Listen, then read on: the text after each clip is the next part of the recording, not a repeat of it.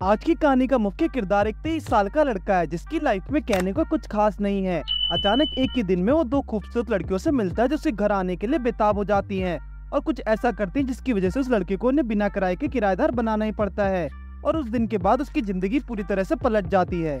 ये कहानी एक आम लड़की हावरेन की, जो हाल ही में अपनी पढ़ाई पूरी करके नौकरी की तलाश में है।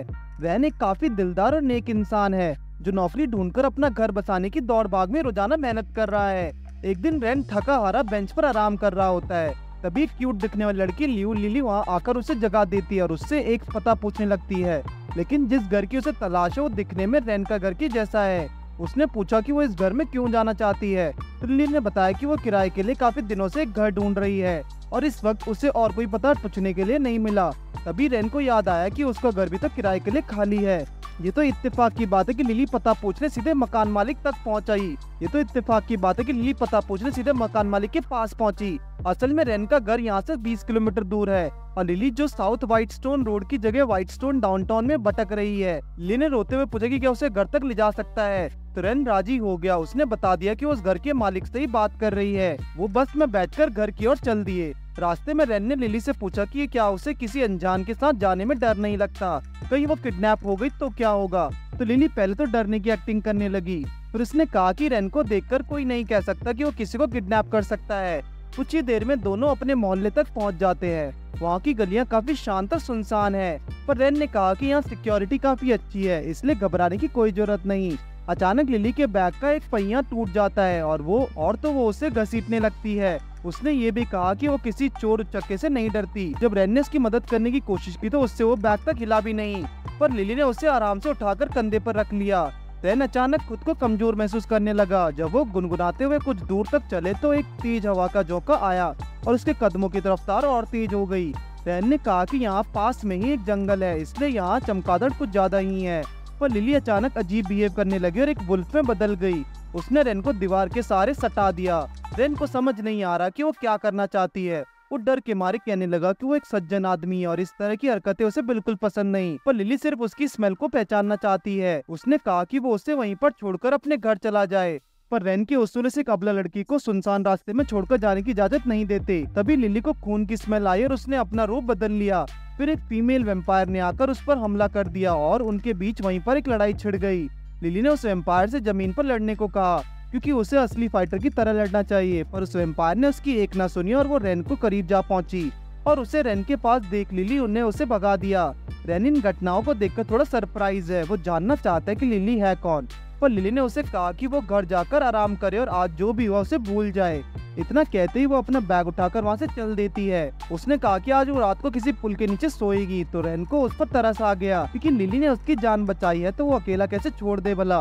थोड़ी देर चलने के बाद वो दोनों घर पहुँचते हैं, जहाँ रैन उसे अपना लिविंग रूम और लिली को रहने के लिए कमरा दिखाता है। लिली को अपना कमरा काफ़ी पसंद आया। रैन ने कहा की अगर तुम कोई ज़रूरत है तो मुझे याद करना। दरवाज़ा बंद करने ऐसी पहले लिली ने अचानक उसे रोका और कहने लगी की उसे लाइब्रेरी में एलियन ऐसी मिलने जाना है, क्योंकि उसे उन्हें वहाँ खाना काफ़ी पसंद है और वो फिर वो सोने चली गई। रेन की शक्ल देखने लायक है। अगले दिन जब दिन निकला तो दिल्ली ज़ोर ज़ोर से चिल्लाने लगी, क्योंकि उसने रेन को पालतू बिल्ले रोमी को देख लिया। रेन ने बताया कि रॉली को टेबल और बेड पर रोल करना काफ़ी शौक है, इसलिए इसका नाम रोली है, जिसके बाद लिली की नज़र टीवी पर पड़ी, जिसे देखकर उसका मन सोयोट्स की जीवनी देखने के लिए हुआ। पर कोशिश करने पर भी टीवी चालू नहीं हुआ और और खिड़की खोलते ही कई सारे चमकादड़ उसके कमरे में घुस गई जिसके अंदर से वही रात वाली वेम्पायर निकली जो कहने लगी कि लिली का असली काम तो जंगल में चूहे पकड़ना है। उसने इंसानों को पकड़ना कब शुरू कर दिया? फिर वो रेन को बचाने के लिए लिली से लड़ पड़ी। कुछ देर बच्चों की तरह लड़ने के बाद रेन उन्हें रोकने की कोशिश करने लगा क्यूँकी उसके घर का सारे सामान बर्बाद हो रहा है। उसने कहा की उन दोनों को इस नुकसान का दस गुना भरना होगा। पर अंसिटा विवियन जो एक वेम्पायर है, कहने लगी की वो तो उसे बचाना चाहती है। पर उसे बचाने के चक्कर में वो दोनों रेन को ही नुकसान पहुँचाने लगे। जब लिली ने विवियन पर इल्ज़ाम लगाया तो उसका पीछा करते हुए वो रेन के घर तक पहुँच गई। पर विवियन तो दरअसल घर ढूंढते हुए यहाँ आई है। ये किसी इत्तेफाक से कम तो नहीं। रेन ने उन्हें शांत करवाकर उनके लिए खाना तैयार किया, जिसमें उसने विवियन का फेवरेट डक ब्लड टोफू दिया। पर विवियन ने बताया की मिलावट वाला खून पेट दर्द कर सकता है। फिर उसने रेन के घर को पॉटर से दिखाया, क्योंकि उसके पास पैसों की थोड़ी कमी है।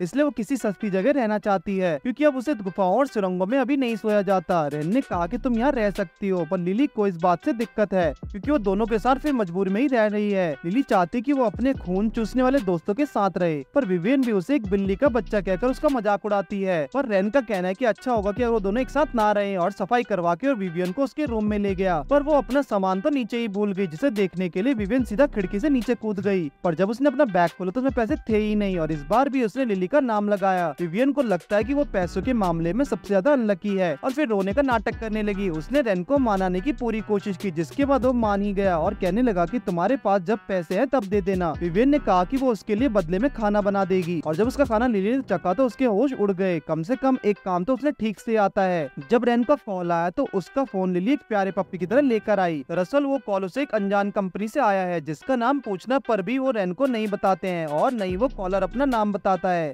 वो बस कहती है कि तुम्हें दो बजे ही दी हुई लोकेशन पर आना है।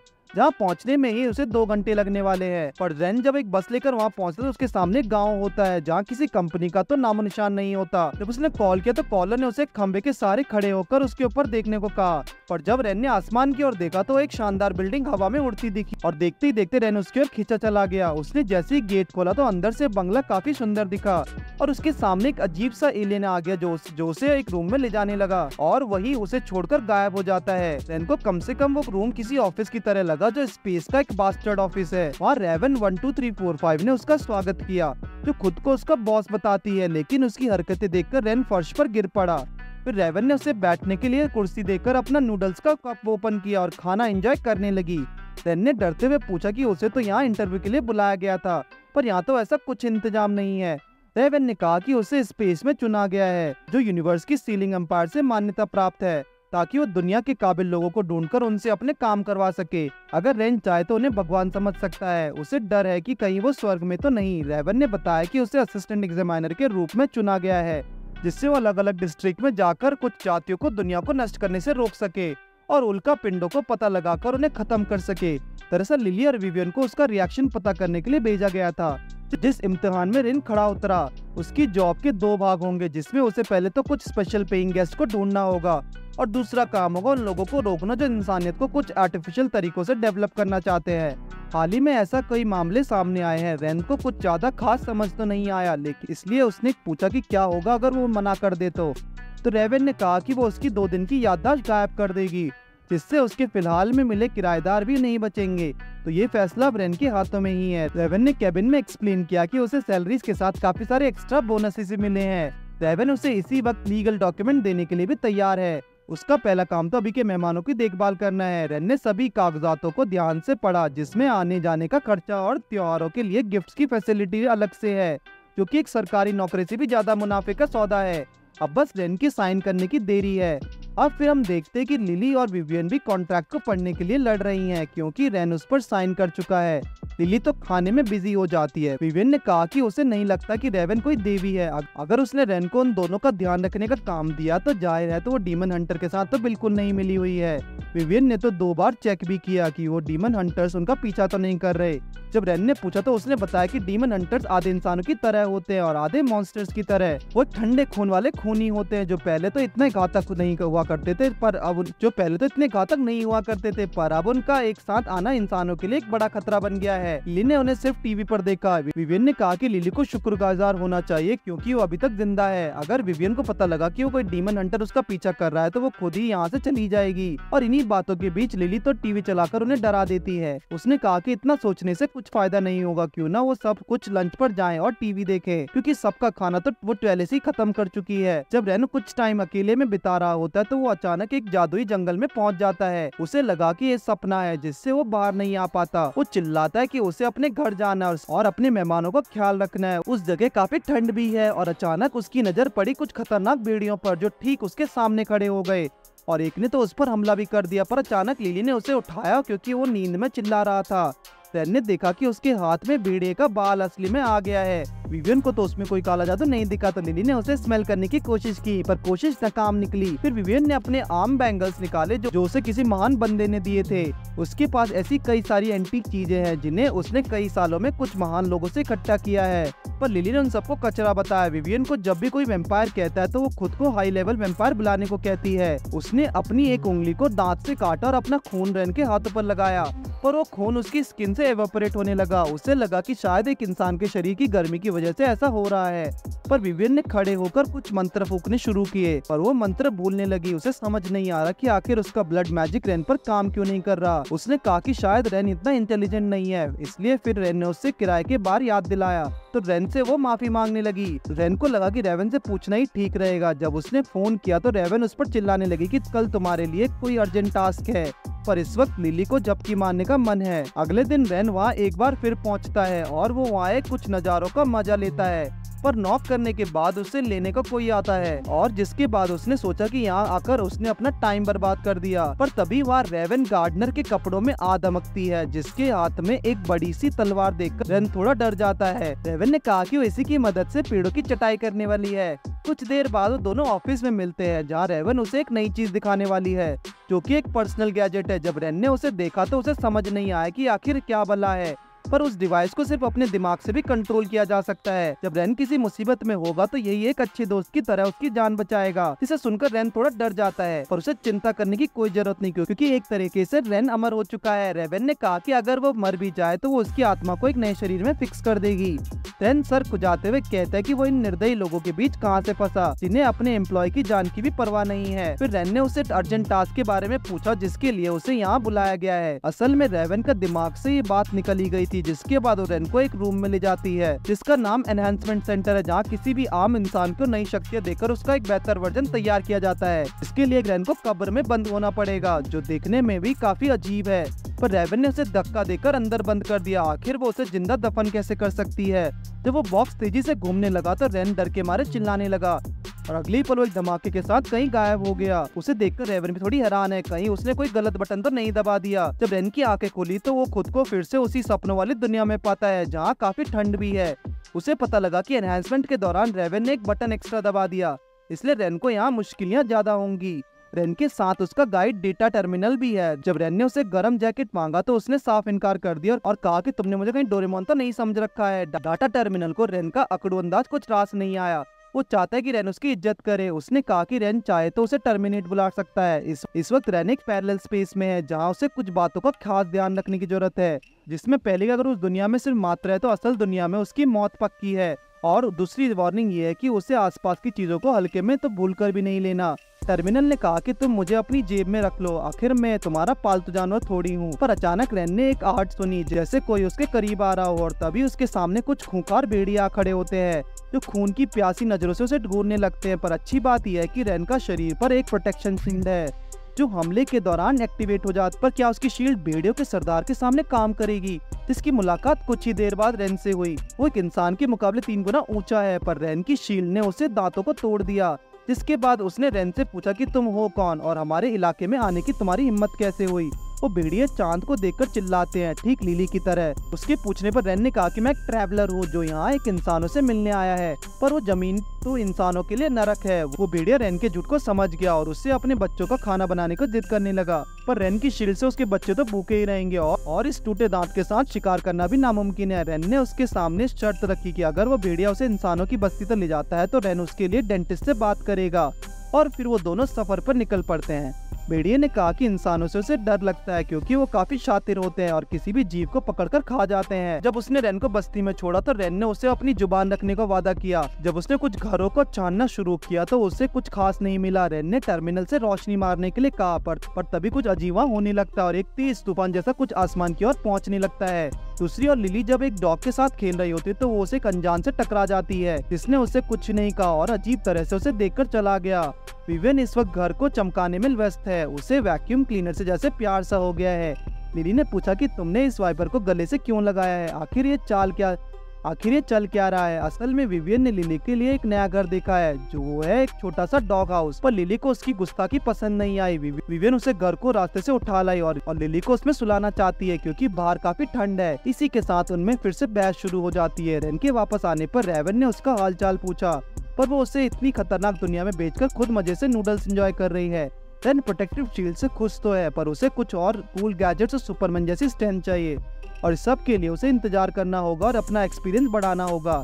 रैन के पूछने पर रेवन बताती कि ये पैरेलल वर्ल्ड एक स्पेशल स्ट्रक्चर है जो ज़्यादा इल्यूजन से भरा और अनस्टेबल है।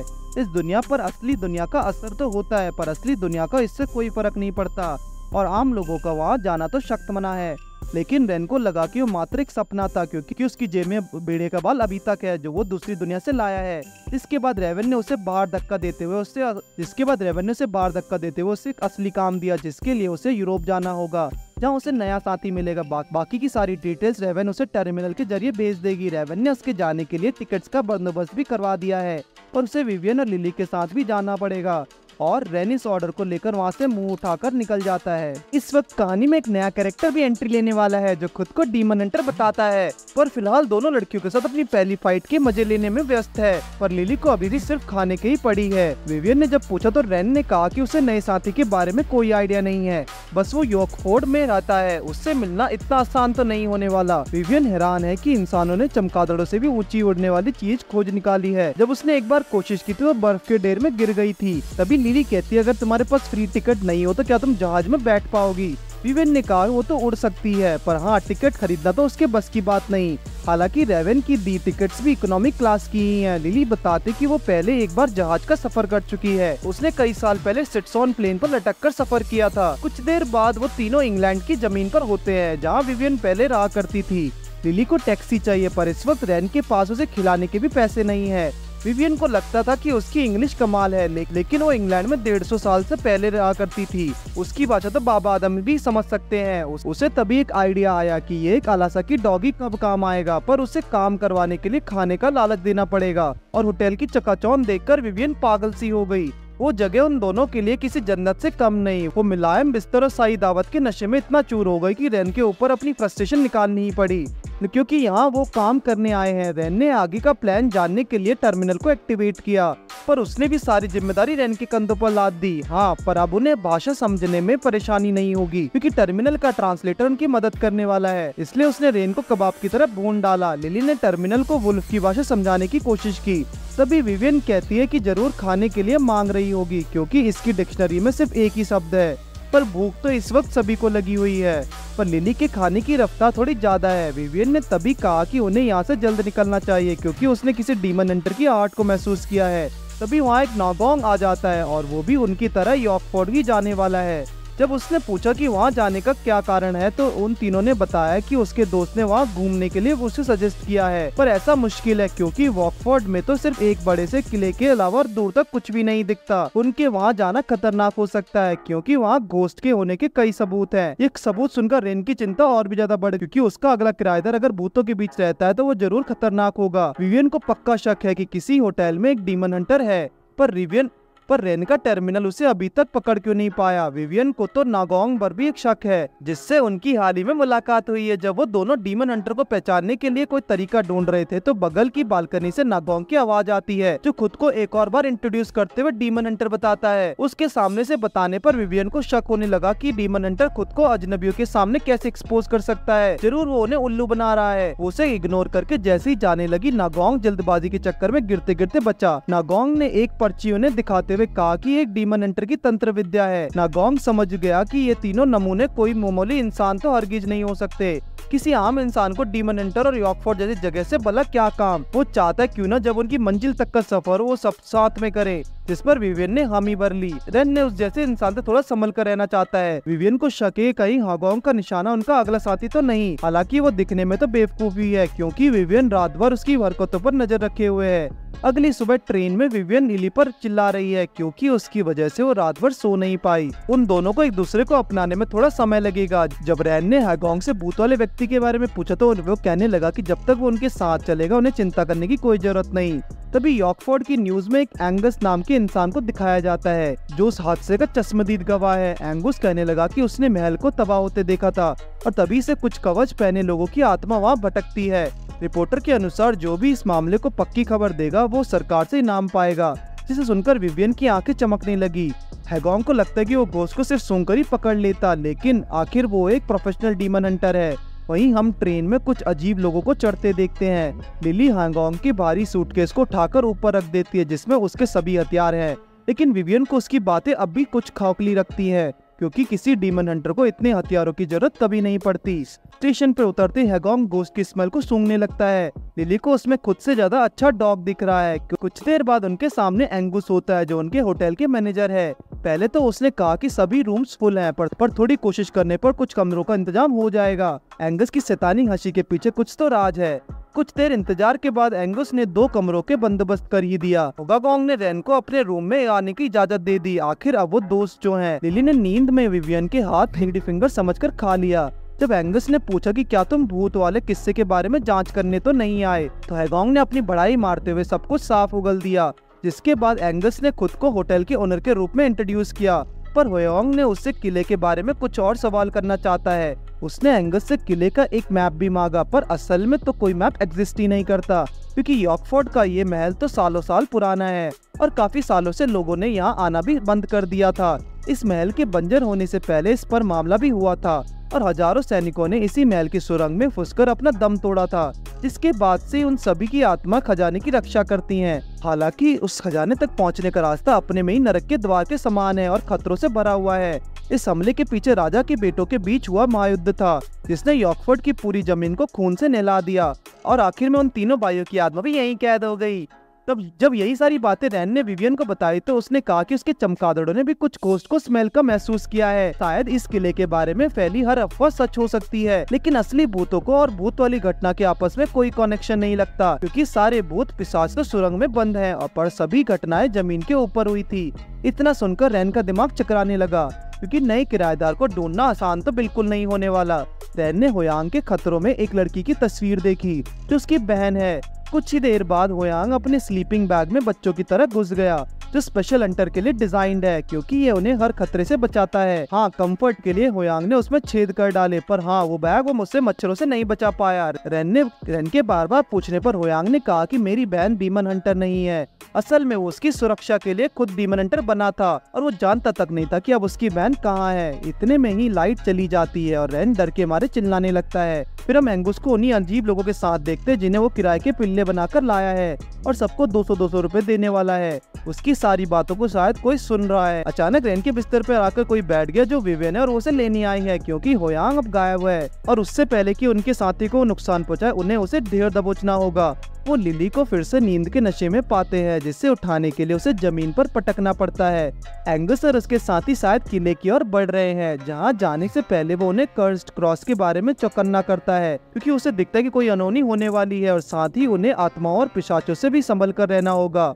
पर ज़्यादा संभल कर रहने की ज़रूरत तो होयांग को है, जिसके गले एक सांप आ पड़ा है। एंगुस के साथी को लगा कि ये आवाज़ तो भूत प्रेत की निकाल रहे हैं। वहीं विवियन और लिली भी रैन को लेकर काफ़ी तेज़ी से बढ़ रहे हैं। शायद उन्हें कोई शॉर्टकट मिल पाता, अचानक उन्हें पता लगा कि लिली दौड़ते वक्त खराटे मार रही है। आखिर वो इतनी आलसी कैसी हो सकती है? उसकी इन्हीं हरकतों से उसका सर पत्थर पर जा लगा। फिर उन्हें एक सुरंग दिखी जहाँ पर काफ़ी फिसलन है। पर ये क्या, लिली और विवेन तो यहाँ भी शुरू हो गए? विवेन ने कुछ चमकादार दोस्तों से रास्ता पूछा, जिसे निकाल कर वो अंदर की ओर आ पहुँचे। पर वो वहाँ अकेले नहीं है। टर्मिनल ने हर बार की तरह इस बार भी मदद देने से इनकार कर दिया। लिली की तरह सो गया। कुछ देर आगे बढ़ने के बाद उन्हें एक रोशनी दिखी, जहाँ उन्होंने होयांग को देखा और उसकी स्किल्स देखकर विवियन मान गई कि वो एक असली डीमन हंटर है, पर वो बेवकूफ़ी किसे दिखाने के लिए करता है। कुछ देर थकने के बाद उसकी नज़र एक चर्च पर पड़ती है, और रेन जानता है कि ये वही महायुद्ध की शुरुआत हुई थी। टर्मिनल ने कहा कि तुम अगले साथी के काफ़ी करीब हो, वही उन नमूनों की खोजबीन भी चालू है, और उनके साथ एक नकली चुड़ैल भी। जब वो चर्च की ओर बढ़े तो कई सारी चमकादड़ों के साथ मिलकर विवियन लिली ने उन्हें दम दबाकर भागने पर मजबूर कर दिया, जिसके बाद उसने पत्थरों को धूल की तरह नटा दिया, और अंदर उन्हें इंसानों के होने का सबूत भी मिला, और साथ ही वो क्रॉस भी, जिनकी मनुष्यत की वजह से कई लोगों की जान चली गई। जब विवियन ने धूल हटाई तो उसमें उन्हें कुछ पहेली मिली, जिसे सुलझाने के बाद उनके सामने एक और नया रास्ता खुलता है, और टर्मिनल ने भी कहा कि नया साथी आसपास ही है, इसलिए वो तीनों बिना इंतज़ार के अंदर कूद गए, और उस खाली गुफा में आगे बढ़ते हुए रेन ने अपने पालतू टर्मिनल को रोशनी के लिए बुलाया। वैसे तो उसे पसंद नहीं कि कोई उसे सिर्फ़ एक टॉर्च की तरह इस्तेमाल करे जब उन्हें सामने की एक ओपनिंग दिखी तो वहाँ कई सारे खुफिया दरवाजे उन्होंने देखे। विवियन को लगता है कि ज़रूर वहाँ कुछ गलत हुआ है। बस उनके साथ कुछ गलत ना हो, पर लिली ने वहाँ कुछ इंसानों की स्मेल महसूस की। होयांग भी उनके पीछे उसी रास्ते में उन्हें फॉलो कर रहा है। पर वो अपने, पर शायद वो अपने जादू के कारण अपना सर तुड़वा बैठेगा। काफ़ी लंबा चलने के बावजूद रेनो और दोनों लड़कियों ने आराम करने का सोचा। लिली तो अपना नाश्ता भी साथ लाई है। जब विवियन ने कुछ खाने से इनकार कर दिया तो लिली उसे बुड्ढी कहकर बुलाने लगी, जिसके दांत कुछ भी खाते ही अंगूर की तरह गिर जाएँगे। फिर रेन को भी उन्हें शांत करवाना पड़ा। फ़िलहाल उन्हें अपने नए साथी और रेन को लिए नए किरादार की तलाश है। विवियन को लगता है कि वो उसका किराया भी आधा देगा। रास्ते में उन्हें लगा कि हो सकता है कि वो अपने नए साथी को नहीं, बल्कि नया साथी उन्हें ढूंढ रहा हो। फिर तो वो जल्दी मिलेंगे। लेकिन अभी उनकी नज़रों के सामने खुद एंगस है। विवियन ने अपने जादू से सबको एक भूत की तरह गायब कर दिया। रेन को तो एंगस एक महान इंसान लगता है, पर विवियन को उस पर पूरा शक है क्योंकि इतनी रात गए वो यहाँ क्या कर रहा था। उसे ज़रूर कुछ राज मालूम है, तभी नीली उसे सामने से आकर डरा देती है। रेन ने सोचा कि क्यों ना भूत बनकर उसे मज़े लिए जाएँ। वो सब उसे डराकर सवाल करने लगे तो एंगुस कहता है कि वो तो सिर्फ़ अपना बिज़नेस बचाने के लिए ये सब कर रहा है पर वो चंद पैसों के लिए अपनी जान खतरे में क्यों डालना चाहता है? एंगस रेन के पैरों पर पकड़कर जान की बीक मांगने लगा और जैसे ही विवियन का जादू खत्म होने वाला होता है तो रेन उसे डराकर भगा देता है। लेकिन लिली कुछ पढ़ने में बिज़ी है, जो उसकी समझ से बाहर था। विभिन्न ने पढ़ा कि ये धरती राक्षसों की है, जहाँ बाहर की आत्माओं का आना वर्जित है। और अगर ऐसा हुआ तो सारे सैनिक जंदा हो जाएँगे। जैसे ही विवियन ने उसे छोड़ने की कोशिश की तो कुछ बहुत बुरा हुआ। उनकी तरफ़ तीरों की बारिश होने लगी, जिसे रेन ने अपनी शील्ड से रोका। किसी तरह जब बेचारा होयांग अंदर पहुँचता है तो अपनी बेवकूफ़ी से खुद पर ही धमाका कर देता है। आज अगर रेन शील्ड ना खोलता तो उनकी हालत जादुई गुड़िया जैसी हो चुकी होती। पर खतरा अभी टला नहीं है। एक बड़ा पत्थर उनकी तरफ़ आया, जिससे वो बच तो गए, पर लिली एक डॉगी की तरह उसका तेज़ी से पीछा करने लगी। पर एक गड्ढे में जा गिरी। विभिन्न पूरी कोशिश करके उसे बचा ही लिया। वहीं हायोंग भी इस जगह पर पहुँचा जहाँ तीरों की वर्षा और बिना बताए होती है, और उसने भी वही गलती करके अपनी कमर को छिलनी करवा लिया। विवियन और लिली के ऊपर होयांग खुद गिरा, और और उनकी आँखों के सामने बेशुमार खाना और पैसे होते हैं, जब जो सब नकली है, पर रेन को ऐसा कुछ नहीं दिखा। उसने तो सिर्फ़ दोनों लड़कियों को गड्ढे के पास नाचते हुए देखा, और अब आगे का रास्ता और भी ज़्यादा मुश्किल होता जा रहा है। रेन इस मिशन को पूरा कर जल्दी घर लौटना चाहता है। उन्हें लग रहा है कि एंगस ने ही उनके साथी को कैद किया हुआ है। बस नया दोस्त ज़्यादा खतरनाक ना हो। पता नहीं बेचारी विवियन को कब तक बिना खजाना दिखे ऐसे ही चलते रहना होगा। और उसकी बात सुनकर दीवारें एक्टिव हो जाती है और उन्हें कुचल डालने के लिए आगे बढ़ती हैं। विवियन दिल्ली दोनों के जादू काम करना बंद कर देते हैं। और आखिर उन्हें रेन कैसे मरने देता जब तक वो अपना किराया नहीं वसूल कर लेता? ओयांग की भी हालत कुछ अच्छी नहीं है। वो अभी मरते मरते बचा है, पर उसका ओवर कॉन्फिडेंस उसे ले डूबा। नीचे गिरते हुए उसने नीचे देखकर फ़ोटो खींचने की सोची, पर वो सीधा पानी में जा गिरा। अब रैन और उसके साथियों की भी मुसीबतें बढ़ने लगी, क्योंकि जो सैनिक सीन थे वो बाहर आने लगे। कुछ को तो लिली और विवियन ने अपनी शक्ति से संभाल लिया, पर ये तो सिर्फ़ कुछ ही थे। उनकी तलवार पर लिली ने पढ़ा कि ये लोग मैजिक स्टोन की रक्षा करने वाले गार्जियंस हैं। वो मैजिक स्टोन जिससे डीमन को बुलाया जा सकता है। और अगर वो किसी के हाथ लग गया तो भयंकर संकट आन पड़ेगा। पर सैकड़ों सैनिकों ने उसे सील किया हुआ है, इसलिए उस तक पहुँचना लगभग नामुमकिन है। रहन ने पूछा कि स्टोन दिखता कैसा है, क्योंकि कुछ ऐसा ही ठीक उनके सर के ऊपर टंगा हुआ है। उनके साथ होयांग को भी कुछ शक्तिशाली महसूस होता है। रेन ने जब अपना सर पकड़ लिया तो टर्मिनल भी उसकी बदकिस्मती को समझ गया। वो चाहता है कि टर्मिनल उसकी मदद करे, पर शायद टर्मिनल उसकी मौत के बाद ही उसकी मदद करेगा। हायोंग ने उस जगह को अनब्लॉक करने के लिए नया स्पेल पढ़ा, क्योंकि जब तक कोई शक्ति मैजिक स्टोन पर नहीं पड़ेगी तो इसी तरह लटका रहेगा। लेकिन किसी बेवकूफ़ ने उसे हिलाकर सारे गार्ड्स को नींद से जगा दिया। अब रेन के घर जाने के आसार भी कुछ कम होते जा रहे हैं। असल में बेवकूफ़ी हायोंग की है, उसी के मामले की वजह से उन तीनों की जान खतरे में है। इतने पावरफुल नाइट्स के बीच घिरे रेन ने हायोंग को उन पर हमला करते देखा। वो बार बार खुद को डीमन हंटर साबित करने के लिए हमेशा कोई ना कोई बेवकूफ़ी कर बैठता है। हायोंग ने कहा कि किसी को चिंता करने की ज़रूरत नहीं, क्योंकि अब वो एक प्रोफेशनल डीमन हंटर के साथ उनके सर पर है। फिर उसने अपने तीरों से नाइट्स की चटनी बनानी शुरू कर दी। विवियन के पास वो ताकत है, जिससे वो एक ही बार में कई दुश्मनों को खत्मा कर सकती है। पर उसे एक्टिवेट करने के लिए थोड़े टाइम की ज़रूरत है। तब तक रैन और लिली को मामला संभालना होगा, क्योंकि हायोंग की तीर खत्म हो चुकी है। लिली ने अपनी पूरी जान लगाकर उन पर पत्थरों की बारिश करनी शुरू कर दी, पर उसका एक पत्थर हायोंग के सर पर जा गिरा। इतने में ही विवेन अपने घातक हमले के लिए तैयार हो जाता है, पर जैसे ही उसने अटैक किया, उसकी एनर्जी को स्टोन ने खींच लिया और वो एक्टिवेट होने लगा। उस स्टोन से एक रे निकलकर सीधे स्पेस से टकराई और एक फर बड़ा धमाका हुआ, जिसमें सभी नाइट्स की आत्मा दफन हो गई। पर अब एक नई मुसीबत उनके सामने है, जो एक है विशाल का फायर मॉन्स्टर। उस मॉन्स्टर ने हायोंग और रेन को अपनी मुट्ठी में भरा और उन्हें उठाकर ले जाने लगा, और साथ ही विवियन भी उसके पीछे है, पर वो नाराज़ भी है, क्योंकि बिना पंखों के भी वो मॉन्स्टर उससे तेज वजह से उड़ सकता है। डी विविन ने कहा कि डीमंस के पास भी उसके जैसे ब्लड सेक्स जैसी ताकत होती है, शायद वो उसका सामना कर पाए। तो विवियन हमले के लिए तैयार होती है तो उसका शरीर लाल एनर्जी से भर जाता है। और साथ ही आसमान में भी एक लाल चाँद दिखाई पड़ता है, जिसे देखकर लिली बेहोश हो गई। विवियन जैसे उस पर हमला करने वाली थी तो वो मॉन्स्टर रेन को अपना मालिक बताने लगा। इसे सुनकर टर्मिनल बाहर आकर बताता है कि यही डीमन तुम्हारा अगला किराएदार है। रेन फ़िलहाल यही सोच रहा है कि ये मॉन्स्टर आखिर उसके घर में कैसे रहेगा। उस डिमन ने कहा कि वो रेन के साथ एक कॉन्ट्रैक्ट साइन करना चाहता है, जिसके लिए वो चाहकर भी मना नहीं कर सकता। जो बात टर्मिनल ने अभी उसे कही लिली नए साथी को लेकर काफ़ी एक्साइटेड है। उसने उसे हाथ भी मिलाया और उस, और उसे नया नाम दिया जो है बिग गाय आखिर अब वो सब दोस्त जो है रेन ने जैसे ही कहा कि उसने नाइट्स को ठिकाने लगाना होगा तो तभी डीमन ने एक ही इशारे में उसे किले को हमेशा के लिए तबाह कर दिया। टर्मिनल ने कहा कि नया मेहमान कितना अच्छा और काइंड है। पर विवियन उस मॉन्स्टर पर कतई भरोसा नहीं कर सकती, जिसने अभी अभी एक मीटियोर से महल को तबाह कर दिया हो। पर उस डीमन ने विवियन की जादू की भी तारीफ़ की। पास ही में ही जब उन्होंने कुछ इंसानों की आर्ट सुनी तो फिर एक बार डीमन साथ ही मिट्योर एक्टिवेट करने लगा और रेन की रिक्वेस्ट पर उसने अपना इंसानी रूप धारण किया। हालाँकि उस रूप में भी वो एक मॉन्स्टर ही दिखता है। उसका नाम वाइजैक है। अगले दिन जब रेवन रेन से नए साथी के बारे में पूछे तो रेन बताते कि वाइजैक ने सुबह पर्स गुम होने के पर भी मिट्योर निकाल लिया था। आखिर हर मुसीबत के लिए उसके पास एक मीटियोर क्यों है?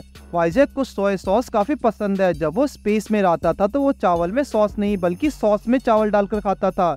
वाइजैक दरअसल स्टोन से नहीं निकला, बल्कि वो तो नायरॉन्ग के हमले से स्टोन की एनर्जी के ज़रिए वहाँ खींचा चला आया। रेन को पता लगा कि ये सब रावण पहले से जानती थी। रेवन ने बताया कि वाइजैक को इस दुनिया में डीमंस को मशिया भी माना जाता है। पर बदकिस्मतों से उसको अपनों ने ही उसे बिज़नेस में धोखा दिया और उसकी जान लेने तक लिए उसे मारा गया। पर जैसे तैसे उसने अपनी जान बचाई, लगता है वाइजैक को रेन के बिल्ले से खास लगाव होने लगा है। वाइजैक ने कहा कि अब उसे इंटरव्यूज़ के लिए जाना होगा, क्योंकि उसे रेन को किराया भी तो देना है। और इसी बीच लेली ने विवियन को पैसों को लेकर ताना मार दिया। वो दोनों कुत्ते बिल्लियों की तरह आपस में लड़ने लगी, पर वाइजैक उन्हें समझाने की कोशिश करता रहा। रेवन चाहते कि रेन अपनी सभी किराएदारों की बराबर खातेदारी करे और उनका खास ध्यान रखे। पर घर की हालत देखकर उस फ़िलहाल अपना ध्यान रखने की ज़रूरत है। शाम डलते डलते विवियन ने अपने कमरे शीशे की चमका डाले। ने भी उस कमरे को इतना साफ़ कर दिया जैसे कभी था ही नहीं। विवियन को सफ़ाई के दौरान एक कागज़ का टुकड़ा मिला जिसे देखकर रेन को अपना बचपन याद आ जाता है। उस पर कुछ लिखा हुआ है बिल्कुल वैसा ही जैसे रेन को मिली मेंटल प्लेट में था जो उसे ड्रीम डायमेंशन से मिली थी। रेन सोच रहा है कि वो फिर से उस दुनिया में कब जा पाएगा और, और वो किंग से अपना वादा पूरा कर पाएगा। दो एक जैसी लिखाई का रेन की ज़िंदगी में होने का एक इत्तेफाक नहीं हो सकता। विवियन ने उस पर पढ़ा शक्ति का स्रोत जो एक बार फिर दरवाज़ा खोलेगा पर कागज़ के टुकड़े को नहीं पढ़ पा रही। पर यह तो पक्का है कि वो दोनों ही लेख एक ही किताब के हैं, पर तभी रेन का फ़ोन बचता है, जिसमें उसे पता लगता है कि वाइजैक को पुलिस ने पकड़ लिया है। आखिर हर एंगल से दिखने में तो वो लफंगा ही लगता है। अगली सुबह रेवन रेन को जल्दी ऑफ़िस में बुला लेती है, क्योंकि वो उसे नया टास्क बताने वाली है। रास्ते में रेन ने एक लड़की को देखा जो काफ़ी प्यारा गा रही थी, पर जब उसने लड़की को पास बुलाकर पैसे देने का इशारा कर दिया तो रेन उसे इग्नोर करके पतली गली से निकाल लिया। रेवन ऑफ़िस में उसे नए किराएदार के बारे में समझाती है, जिसे लाने के लिए रेन को अंतरिक्ष में 895 लाइट ईयर दूर जाना होगा, पर इंग्लैंड के बाद वो सीधा रेन को स्पेस क्यों भेजना चाहती है? रेवन कहते कि वो रेन के पास कोई दूसरा चारा नहीं, उसे नए साथी की तलाश में जाना ही होगा। और वो एक चुटकी बजाती, वो उसे क्यूपर स्पेस स्टेशन की झलक दिखाती है, जहाँ से उसे लोकेशन पर जाने के लिए स्पेसशिप मिलेगी। पर क्यूपर तक वो उसे टेलीपोर्ट करने वाली है, लेकिन उससे अगले उसके जादू के कुछ ड्रॉबैक्स है, क्योंकि वो प्लेनेट ओशन से घिरा हुआ है। इसलिए रेन को अपने साथ किसी सी स्पेशलिस्ट को ले जाना होगा। और वो स्पेशलिस्ट तो वही लड़की निकली जिसे रेन ने इग्नोर कर दिया था। रेवन खुश है कि वो दोनों एक दूसरे को जानते हैं, क्योंकि ये लड़की रेन की चौथी किराएदार भी है और ना चाहते हुए भी हैंगोंग को उसके ऑर्डर्स मांगने पड़ेंगे। उसने बाकी सबके सामने इंट्रोडक्शन देते हुए खुद को एक ट्रैवलर बताया। विवियन उसे देखते ही पहचान गई कि वो भी एक आउटकास्ट है। उसने कहा कि वो एक सिरेन है, जिससे समझाने के लिए टीचर विवियन बोर्ड पर आती है और कहते कि सिरेन अक्सर गहरे समंदरों में पाई जाती हैं और उन्हें ज़मीन पर काफ़ी कम देखा जाता है। सभी सिरेन्स फीमेल्स होती है और उनका जन्म देने का तरीका भी अनोखा है। जब जब बुए ने अपनी भूख का ज़िक्र किया तो विवेन उसके लिए लंच बनाने किचन में ले आई और उसने कहा कि वो लिली को खिला खिलाकर मोटा कर देगी ताकि मॉन्स्टर्स को भी लंच करने में मज़ा आए। उनकी इस रोज की लड़ाई की वजह से अब रेन को आदत हो चुकी है, अपर कम से कम वो बोर तो नहीं होता। लंच के बाद रेन ने सभी को नए मिशन के बारे में बताया, जिसके लिए उसे स्पेस सेंटर पर जाना पड़ेगा। वो भी कुछ 800 लाइट ईयर दूर पर अपने साथ रैन कुछ एक्सपीरियंस लोगों को ले जाना चाहता है। जब उसने वाईजैक की ले जाने की बात की तो लेली बच्चों की तरह रोने लगी। वो भी रेन के साथ जाना चाहती है, पर रेन ने उसे किसी तरह समझा दिया। जब रात में रेन पानी पीने के लिए उठा तो उसकी बनक सुनकर वो भी जाग गई। उसने कहा कि उसको कानों की क्षमता कुछ ज़्यादा ही सेंसिटिव है। तब रेन उससे पूछा कि तुमने ट्रैवलर बनने की क्यों सोचा? पर व्यूअर कहते कि वो तो एक सीक्रेट है, फिर वो सोने के लिए चली गई। अगली सुबह सब कुएपर में जाने के लिए तैयार है और कुछ ही देर में रेन अपने साथियों के साथ कुएपर में टेलीपोर्ट कर जाता है, जहाँ एक प्यारी सी स्टेशन गाइड उनका स्वागत करती है। पर रेन ने तो सोचा था कि उस भयानक सा एलियन उनका स्वागत करेगा। वो इन्हें पूछा कि यहाँ की ग्रेविटी अर्थ जैसी क्यों है? तो उस लड़की ने जवाब दिया कि कुएपर का एटमोसफेयर एडमोडिफाइड है, जो कि ज़्यादातर दुनिया के लोगों के अनुकूल है। रेन जब गाइड से पूछता है कि यहाँ इतनी शांति क्यों है तो गाइड ने कहा कि ज़्यादातर ट्रैवलर्स यहाँ से जा चुके हैं। लेकिन उसने रेन की टीम के लिए भी एक स्पेशल स्पेसक्राफ्ट का इंतज़ाम किया हुआ है, जिसका नंबर 883 है, जहाँ कई सारे एलियंस भी होते हैं। रेन को यकीन नहीं हुआ कि ये पूरी स्पेसशिप सिर्फ़ उसके और उसके साथियों के लिए है। टर्मिनल ने खबर दी कि एयरक्राफ्ट ज़्यादा बड़ा होने के कारण उन्हें एक पायलट की भी ज़रूरत पड़ेगी। इसलिए रेन रेवन को उल्टा सीधा कहने लगा, पर वाइजैक कहता है की कम से कम वो अपनी तरफ़ से पूरी कोशिश तो कर रही है। और इसी के साथ उन्हें एक पायलट भी दिया गया, जो दिखने में काफ़ी एक्साइटेड है और दो मिलियन किलोमीटर का सफ़र 24 घंटों में करवाने के लिए तैयार है। उनका स्पेसक्राफ्ट बस लॉन्च होने ही वाला है। वहीं लिली और विवियन घर पर उन्हें याद करके बोर हो रहे हैं। लिली अभी भी रेन के पास जाना चाहती है। उसने विवियन की पंखों की बुराई की, क्योंकि वो उसे रेन के पास नहीं ले जा सकती। विवियन ने गुस्से में कहा कि वो उसे खाना नहीं देने वाली इसे सुनकर उनकी बहस फिर से शुरू हो जाती है। वही रेन अपने दोस्तों के पोकर खेलने में बिज़ी है। रैन ने जब बाहर देखा तो कहने लगा कि इतनी स्पीड होने के बावजूद उन्हें पता क्यों नहीं लग रहा। तो वाइजैक बताता कि वो दो स्टेरॉइड्स के बीच का डिस्टेंस लगभग दस हज़ार किलोमीटर होता है, जिसके बाद स्पेसक्राफ्ट जोरों से कांपने लगता है, क्योंकि उसके competitor high speed cargo ship ने उसे पीछे छोड़ने की कोशिश की। कैप्टन ने कहा कि वो इस चीज़ को हरगिज बर्दाश्त नहीं करेगा, बल्कि इस बार ईंट का जवाब पत्थर से दिया जाएगा। टर्मिनल ने बताया कि उन्हें जल्दी छोटी शिप लेकर यहाँ से निकलना होगा। और रेन की टीम तेज़ी से शिप की ओर दौड़ी। जैसे ही रेन ने टर्मिनल को फिक्स किया तो उसने कहा कि स्पेस क्राफ्ट की स्पीड इतनी है कि हैच डोर की खोलना मुश्किल है, जिसकी वजह से वो बाहर नहीं जा सकते, पर दरवाज़ा खोलने की ज़िम्मेदारी वाइजैक ने ली। उसकी 10 किलो की बाजू ने गेट को चुकना चूर कर डाला और वाइजैक अपनी असली रूप में आ गया, पर उनकी शिप की स्पीड इतनी तेज होती है कि प्रोपेलर खराब हो जाता है और वो सब तेज़ी से नीचे गिरने लगते हैं। रेन तो सीधा पानी में गिरता और उसे लगा कि अब तो जीवन का अंत आ चुका है। रेन को इस वक्त कुछ नहीं दिखते तो वो सिर्फ़ गहराई की ओर बढ़ता जाता है, पर अचानक जब उसकी आँखें खुली तो वो खुद को एक थ्री डायमेंशनल स्पेस में पाता है। टर्मिनल ने बताया कि उसे फिर से एक बार ड्रीम डायमेंशन में भेज दिया गया है। पर चिंता की कोई बात नहीं है, क्योंकि असली दुनिया में वो ने उसकी जान बचा ली। पर यहाँ आना उसके लिए कोई अच्छी बात नहीं है, क्योंकि उसकी आँखों के सामने वुल्फिन कुछ भीड़ियों से लड़ रहा है। रेन ने अपनी शक्तियों से उसकी मदद की और वुल्फ ने उसे पहचान लिया। ये वही है जिसने उन्हें परेशान किया, पर वो उसके शुक्रगुजार हैं क्योंकि रेन ने उनकी जान बचाई। आखिर बिना दांत किया वो काफ़ी कमज़ोर भी हो चुका है। रेन ने कहा कि वो डेंटिस्ट को अगली बार लेकर आएगा, पर फ़िलहाल उसके पास वही कागज़ का टुकड़ा है, जिस पर अनजान भाषा में कुछ कुछ लिखा हुआ है। अवेड़िए को याद है कि ये भाषा एक इंसान ने ही उसे सिखाई थी, जिसने उसे फिर से चलना भी सिखाया। उनकी बातों के बीच टर्मिनल उसे असली दुनिया में ले आता है। वो तो डर ही गई थी क्योंकि रेन के चेहरे पर बिजली गिरी थी, जिसने उसे बेहोश कर दिया था। पर अब चिंता की कोई बात नहीं है। जब वो बेहोश था, तब टर्मिनल ने उसे जगह का ब्यौरा लिया था। रेन को पहली बार टर्मिनल कुछ काम का लगा। मैप के अंदर दो डॉट्स, जिसमें से एक पर उनका नया साथी उनके इंतज़ार में है। पर एक डॉट समुद्र के बीचों बीच है, जहाँ उनका क्रैश एयरक्राफ्ट हो सकता है। तो अच्छा होगा अगर वो जंगल की ओर जाते हैं। विवियन ने लिली के लिए आज काफ़ी सारा डिनर बनाया है, पर विवियन हर डिश में गार्लिक हाथ खोल कर डालती है, जो लिली को रास नहीं आया। उसने कहा कि वो ये खाना खाकर बेहोश हो जाएगी, जिसके बाद विवियन को भी मूड खराब हो गया। लेकिन लिली अचानक अजीब बिहेव करने लगी। वो कूद कर घर के बाहर जाने लगी, जैसे किसी ने उसे वश में कर लिया हो। रेन काफ़ी टाइम से डॉट की ओर बढ़ रहा है। टर्मिनल ने कहा कि उन्हें चलते हुए रूल्स को फॉलो करना ही होंगे। अगर रूल्स को तोड़ा तो पुलिस तो वहाँ नहीं आने वाली। फिर उनकी नज़र क्रैश की ओर पड़ी, जो इतना बड़ा है कि अगर ये धरती पर होता तो सारे अखबारों में इसकी खबर ज़रूर आती। पता नहीं उनका किराएदार ज़िंदा भी है, मर गया। वाइजैक ने उस चिप को पूरा तोड़ डाला, पर उन्हें कुछ खास नहीं मिला। टर्मिनल को लगता है कि हमारा साथी ज़रूर कार्गो कैबिन में होगा, पर इस वक्त वो कैबिन कहाँ है ये किसी को नहीं पता। पर इतना तो पक्का है कि वो भी जो भी होगा, ज़िंदा होगा।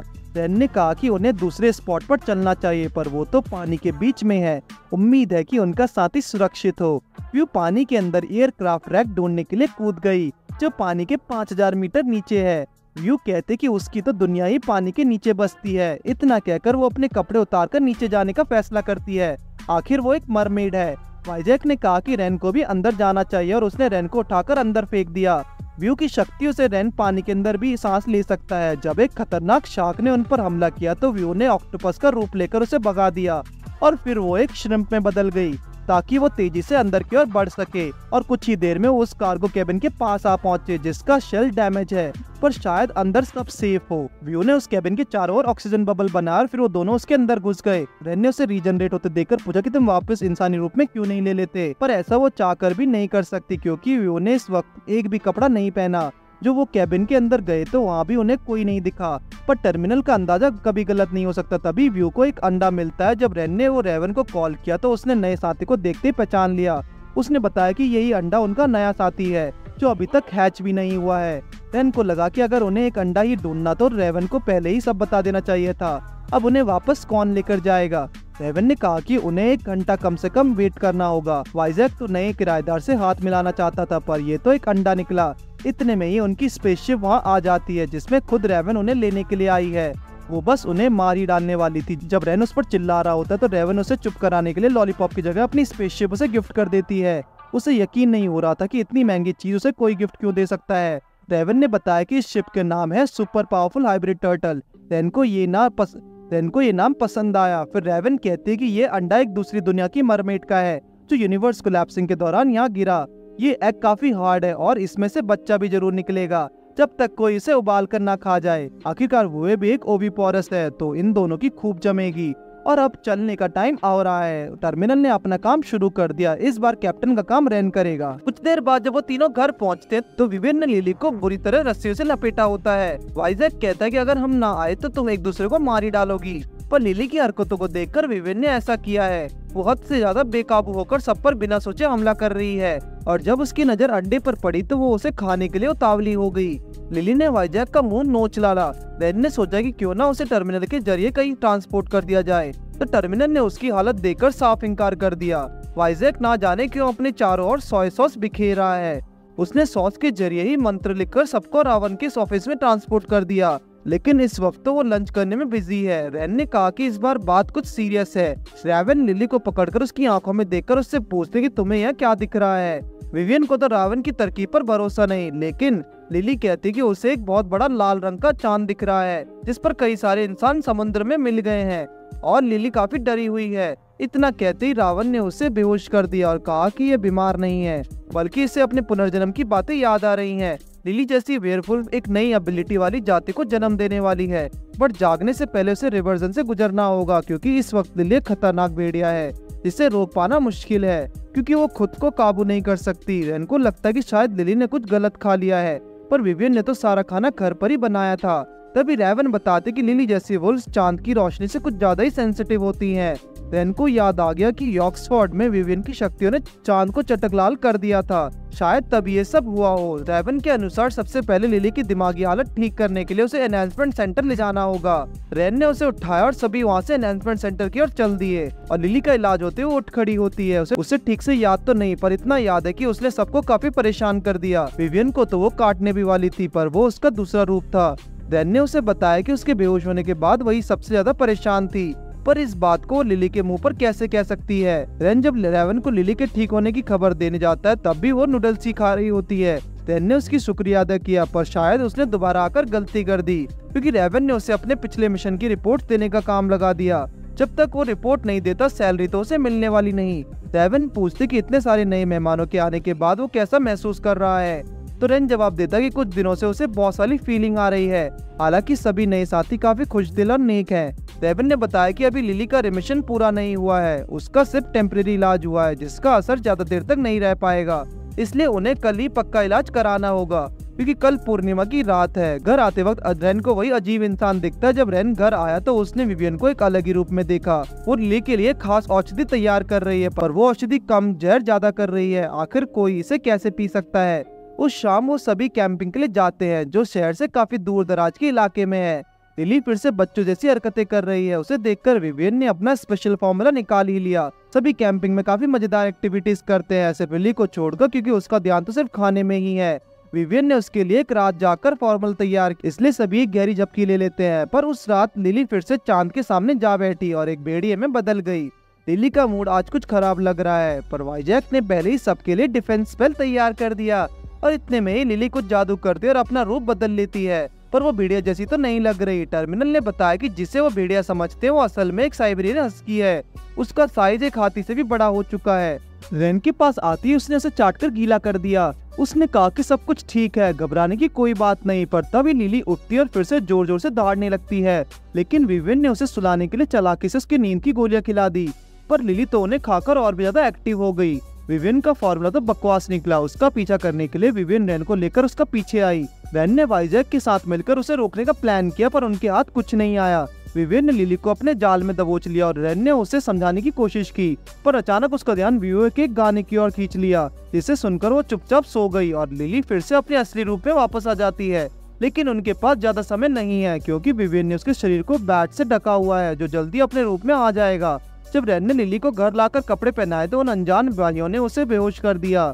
कुछ देर बाद लिली खुद को स्पेस में पाती है। उसके हाथों में ताकतवर क्लॉज आ चुके हैं। जिन्हें देखा वो, जिन्हें देखकर वो काफ़ी एक्साइटेड हो जाती है। पर उसकी ये खुशी दो पल की थी, क्योंकि इस वक्त वो एक तहखाने में पड़ी सपना देख रही है। जब उसने बाहर जाने की कोशिश की तो उसे जोरों का झटका लगा, जिसके बाद बदमाश दो भाई उसके सामने आ खड़े होते हैं और खुद को उसका दोस्त बताते हैं।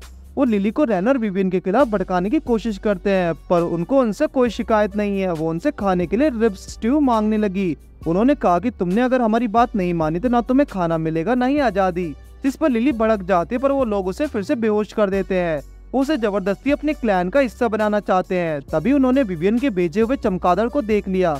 अब उनकी लोकेशन पक्का एक्सपोज हो जाएगी। जब रैन नींद से जागा तो उसे याद आता है कि कोई धोखे से लिली को अपने साथ ले गया है।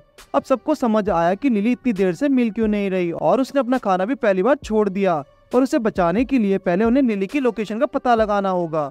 तभी वहाँ विवियन का नन्ना चमकादड़ आ जाता है, पर वो जादू के असर के कारण कुछ बता नहीं पाता। व्यूअर ने सोचा कि क्यों ना टर्मिनल की मदद ली जाए। ये सुनते ही टर्मिनल बाहर आ जाता है और चमकादड़ को स्कैन करने की कोशिश करता है। उसके बताए सबूतों के आधार पर वो ये तय करता है कि लिली ज़रूर किसी स्टील प्लांट में है।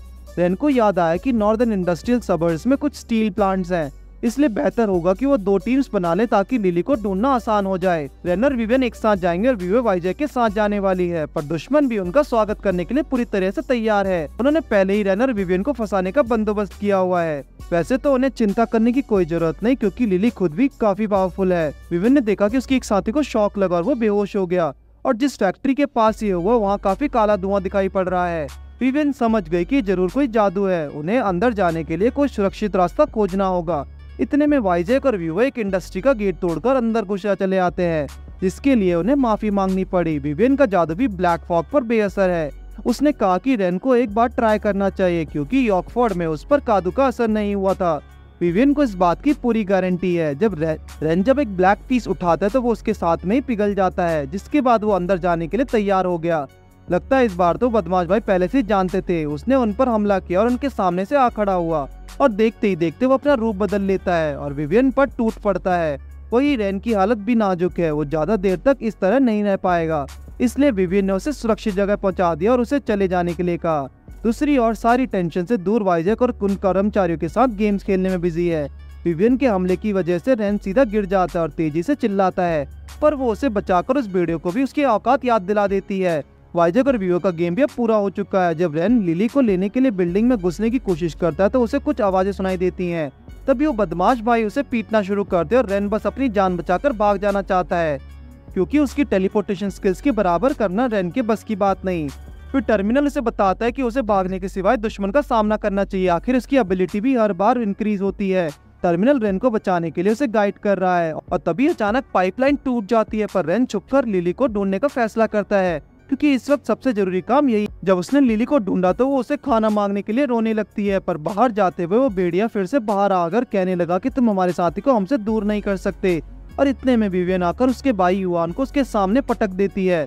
जब वो अपने भाई का बदला लेने आगे बढ़ा तो युवा ने उसे पकड़ लिया और कहा कि विवियन और कहा कि विवियन क्रिम्सन मून की काउंटेस है लिली के लिए विवियन सिर्फ़ एक अच्छी कुक है, पर उसे जब तक कोई फ़र्क नहीं पड़ता, तब तक लिली को वो उसके हवाले नहीं कर देते। माहौल को ठंडा करने के लिए रैन ने बाहर बात करने की बात की। उन्होंने पूछा कि रेन, जैसा आम आदमी एक काउंटेस का मालिक कैसे हो सकता है? रेन ने कहा कि वो तो मकान मालिक है। जब विवियन ने पूछा कि तुम इस डॉग को अपने साथ क्यों ले जाना चाहते तो वो भाई बोले कि सभी आउटकास्ट अपने साथ की तादाद बढ़ाने में लगे हुए हैं। क्योंकि जिस दिन की भविष्यवाणी क्योंकि जिस दिन की भविष्यवाणी हुई थी वो जल्दी आने वाला है। भविष्यवाणी सिरेंस ने की थी कि सभी आउटकास्ट की स्ट्रेंथ उन दिन बढ़ने वाली है। लेकिन अचानक वहाँ लोग पहुंचकर अपने हथियार उनकी ओर तान देते हैं और सभी डीमन हंटर्स हैं। जैसे डीमन हंटर्स पहले से जानते थे कि सभी आउटकास्टर्स यहाँ इकट्ठा होने वाले हैं। उन्हें देखते ही दोनों वुल्फ ब्रदर्स उन पर हमला कर देते हैं। रैन ने उन्हें समझाने की भी कोशिश की पर, डी, पर डीमन हंटर्स की बोली में तो रैम तो दिखाई नहीं दे रहा था। अपने लीडर के ऑर्डर पर उन्होंने लगातार फायरिंग करनी शुरू कर दी। और जैसे तैसे रेन ने अपनी शील्ड से सबकी मदद की। इन इतने में ही रेन के साथ भी मुकाबला के लिए तैयार हो जाते हैं। हंटर्स एक भी आउटकास्टर को बच के नहीं जाने देंगे। लिली की रफ्तार ने एक हंटर की हालत खराब कर दी। इतने ही में ही एक फीमेल हंटर रेन के सामने आग खड़ी होती है तो रेन बताता है की वो एक नॉर्मल इंसान है। इसके बाद हंटर्स का इंटरेस्ट उस जैसी नई स्पीशीज में काफ़ी बढ़ जाता है, पर उसके हमले डीमन हंटर की टेलीपोर्टेशन के सामने काफ़ी हल्के हैं। रेन ने अपनी पूरी ताकत से अपना पहला अटैक करने की कोशिश की और अपना दुश्मन को मज़ा चका दिया। वही लिली और विवियन भी हंटर्स पर भारी पड़ रही हैं। पर लगता है युवान और उसका भाई इस वक्त मुसीबत में है। जब युवान उसके करीब गया तो हंटर्स के लीडर ने उसके आधे शरीर को जमा दिया और कहने लगा कि वो ज़्यादा देर तक ना करते हुए इस भेड़िए से सबको खत्म करना शुरू करेंगे। युवान का भाई चाहकर भी अपने भाई को नहीं बचा पाता। डीमन हंटर्स ने उसे एक मौका दिया। अगर वो अपना प्लान उसे बता दे तो वो उसके भाई की जान बख्शेंगे। उन्होंने युवान की गर्दन पर चाकू रखकर उसे ब्लैकमेल करने की कोशिश की। पर उसके कुछ कहने से पहले ही रैन उसके बीच आ जाता है। लिली भी उनके प्लान में अड़ंगा डालने का काम करती है। लिली का गुस्सा उन्हें देखकर इतना बढ़ जाता है कि वो अपना सबसे खतरनाक अटैक फायर और आइस अटैक एक साथ कर देती है, जिससे वहाँ दो विशाल बवंडर बनते हैं। डीमन हंटर्स अपनी जान बचाने के लिए स्पेल का इस्तेमाल करते हैं। पर रेनो और उसके साथियों को वहाँ से भाग निकलने के लिए एक मौका मिल जाता है। ऐसा लग रहा है कि जैसे डीमन हंटर्स उनकी एक एक हरकत पर नज़र रखे हुए हैं। अगर आउटकास्टर्स का प्लान कामयाब नहीं हुआ तो डीमन हंटर्स उन पर काफ़ी बारी पड़ने वाले हैं। तभी वो और वाईजैक भी वहाँ आ जाते हैं। इसी बीच रैन का टर्मिनल भी आ लौटा। इसे उसने काफ़ी दूर फेंक दिया था। जब विवो ने विवान की हालत देखी तो उसने कहा कि वो उसका इलाज कर सकती है, पर उसके लिए उसे थोड़ा स्पेस और टाइम चाहिए होगा। तब तक युवान के भाई से उसे कई सारे सवाल भी करने थे। पर पहले रैन सबको इंट्रोड्यूस करता है, लेकिन जब वाइजैक को पता लगा कि वुल्फ ब्रदर्स ने लिली को किडनैप किया था तो वो उन्हें मारने के लिए बेताब हो गया। पर रैन ने कहा कि कुछ भी करने से पहले उन्हें एक बार उनकी बात सुन लेनी चाहिए। तो वो वुल्फ बताता है कि सिरेंस की भविष्यवाणी के अनुसार वो दिन आने वाला है, जब आउटकास्टर्स अपनी स्ट्रेंथ को वापस पाएँगे, और डीमन हंटर्स की शक्ति उनके सामने कम होती दिखेगी। और इसी दिन की तैयारी के लिए सभी वुल्फ्स के साथ आना चाहते हैं ताकि वो अपनी क्लैन को और स्ट्रॉन्ग बना सके। पर लिली को शिकायत है कि उन्होंने ये बात उसे क्यों छुपाई। उन्होंने सोचा था कि लिली और विवियन पक्की दुश्मन है और एक दूसरे की खून की प्यासी हैं। इसलिए उन्होंने फ़ूड डालने का प्लान बनाया। वे बताती कि युवा अब ठीक है और मदद करके उसे काफ़ी खुशी हुई, पर अचानक एक हंटर उड़ता हुआ रेन के कान के पास से गुजरता है, पर वाइजैक उस हंटर को पकड़कर उसकी चटनी बना देता है और अब उनका लीडर सामने आता है। वाइजैक ने कहा कि क्यों ना मामले को बात करके सुलटा लिया जाए। आखिर वो लीडर है तो उसे समझदारी से काम लेना चाहिए, पर उस हंटर की हरकतें देखकर नहीं लगता कि वो बात करने के मूड में है।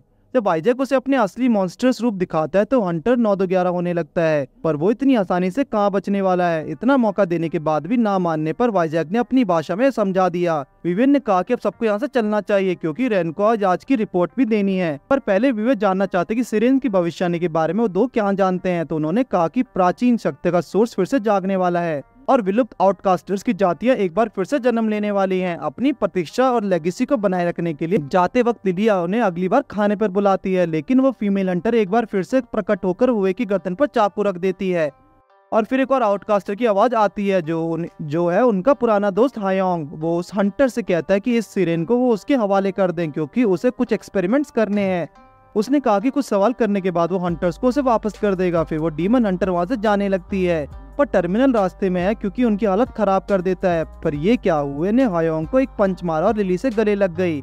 जब वो उसके पास आया तो हुए ने जोरों से किक मार के उसे साइड में गिरा दिया और कहा कि, भाई, तुम्हें यहाँ आना चाहिए था। जब वो सब घर पहुँचे तो लिली सबकी नज़रों से दूर उस अंडे को डुबालने में लग गई। रैन को याद आया कि हुए तो वही लड़की है जिसकी तस्वीर वो हमेशा अपने साथ रखा करता था।